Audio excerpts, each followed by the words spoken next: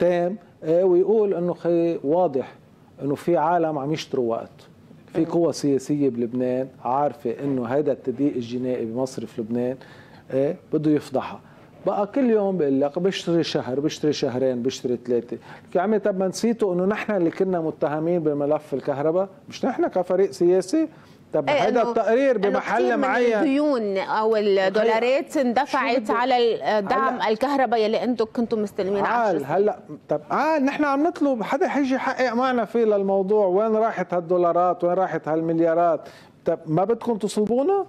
نحن عم نجي نقول لكم نحن هذا الفريق بعدنا ماشيين بالتضييق الجنائي يلي بكثير من المحلات وقتها كنتوا تنزركوا كنتوا تقولوا إيه بدنا نبلش بالكهرباء هلا بلشنا بمصرف لبنان اللي هو في كل الصورة مبدئيا المفروض تكون موجودة فيه. وحتى هيدا ليكي كيف؟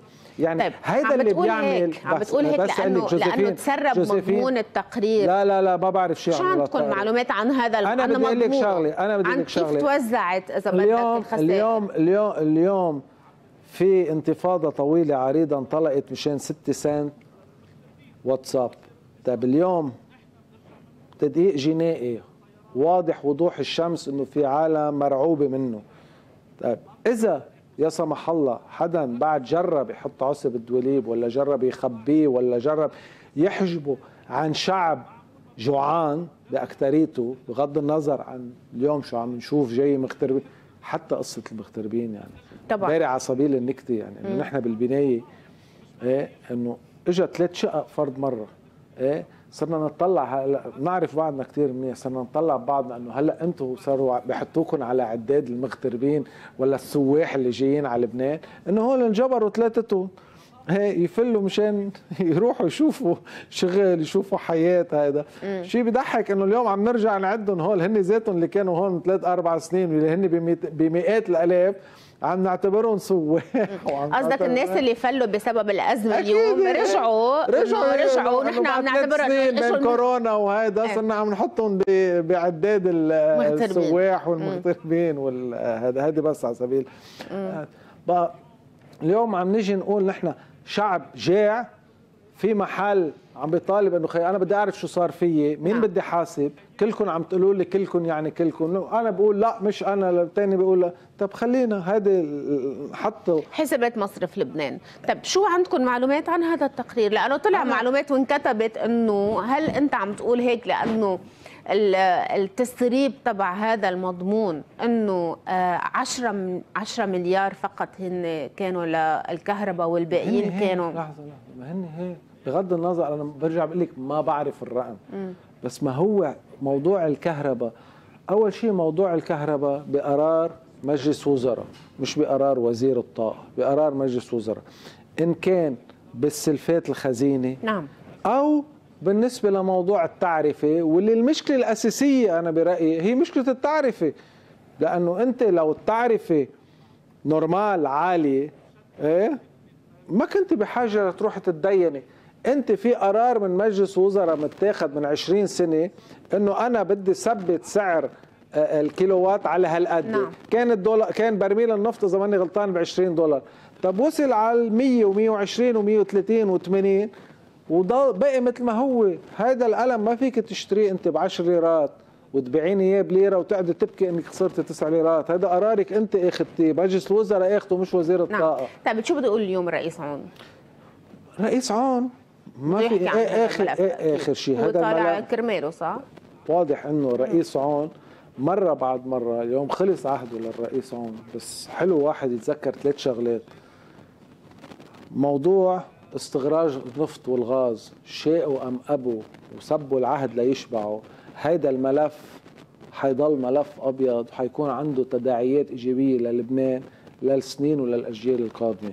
ملف التضييق الجنائي اللي كتار عم يهربوا منه الرئيس عون هو اللي حطه وهو اللي ثبته وهو اللي راح يضل لاحقه مع التيار الوطني الحر. وبكرة شوفوا إنه راح يوصل لنتيجة. وموضوع النازحين السوريين يلي سب يلي حذر منه قبل ما يعمل رئيس جمهورية وتابعه هو رئيس جمهورية وتهاجم وتحاصر لأنه عم بيحارب هذا هذا الملف النزوح. كل العالم اليوم رجعت له. بقى مع كل شيء عم بيحاولوا. تذكري في كتير أمور صغيرة يمكن واحد مغلط فيها أو مش مغلط بس هول ثلاث عناوين. بس إنه إيه. برأيك أنت؟ هول ثلاث عناوين. هو إيه. إنه في كثير اشياء هلا ما في ما في مجال نفتحها مش كلها بس إنه- عم بقول لك أنا إنه هول الثلاث عناوين الأساسيات اللي بي... يلي يلي بيأثروا على ماض على مستقبل على حاضر ومستقبل لبنان. هول ثلاث ملفات شاءوا أم أبوا صاروا بعهد الرئيس عون مع كل شفيت عرقل صار طيب بدي آه، أرجع بس للنقطة الأخيرة لموضوع النازحين بما أنه عم نحكي عن النازحين السوريين. وزير آه، الخارجية عبد الله أبو حبيب آه، بالتعاون مع والتفاهم مع رئيس حكومة آه، نجيب مئاتي قرروا أنه أن يمتنع لبنان عن التصويت لصالح إنشاء هيئة للكشف عن مصير المفقودين في سوريا. وكانت حجته للوزير عبد الله أبو حبيب بأنه آه، هذه للمصلحه الوطنية لأنه نحن بدنا نرفق ملف النازحين بملف المفقودين. بدي أسمع رأيكم أنتم بهذا الموضوع لأنه صار في كثير انتقادات على هذا القرار آه، كان في كثير كل ما ناس حدا حكي مع سوريا أنا بالنسبة لي. طلع بعد حرب تموز. خبر سماحه السيد إنه طلع وحكي بموضوع المفقودين. وبالنسبة لإلي أكثر طلع الرئيس عون من بعدها بال 2008 2009 وأكيد الرئيس هون حكي بملف المفقودين وعمل رئيس جمهورية الرئيس هون وحكي بملف المفقودين. اليوم هذا ملف المفقودين بغض النظر عن كل واحد وجهة نظره شو هو هذا الملف موجود والإجابات من الفريق السوري عليه إيه؟ وين موجود بس؟ وين موجود؟ وين؟ هو الملف المفروض يكون مع الدولة اللبنانية بس إنه نحن عم نحكي كفريق سياسي لحظة عم إيه، بحكيك بس- كفريق إيه، سياسي فريق سياسي؟ قصدي وين موجود على طاولتكم؟ أنا عم قلك وقت نحن على طاولتكم وين وقت موجود؟ نحن نطلع ليك يلي صار مع الرئيس عون وقت طلع بال 2008 ولا لو في حدا بده يعطي شيء للرئيس عون ولا كان عطي ملف المفقودين. اليوم هذا الملف إن كان سماحه السيد ولا الرئيس عون ما بفتكر الدولة السورية بهذا الملف بالذات لو في حدا تعطيه إيه، كانت اعطيته لها أح- واحد من من من هالشخصين.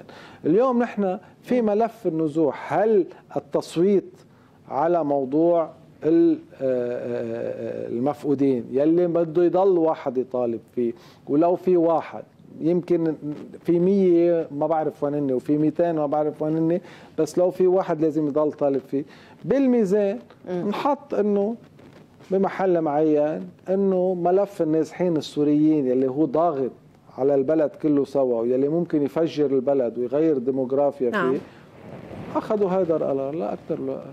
إنه آه، حطوا بالميزان وقالوا إنه بلا ما نعمل مشكل مع السوريين هلأ خلونا وكمان نربط هذا الموضوع عندنا بالاتصالات العربيه. كمان بالاتصالات العربية اللي صارت. كمان شفت إنه أكثرية ساحه من الدول العربية أخذت هذا المنحى. إيه هلأ شو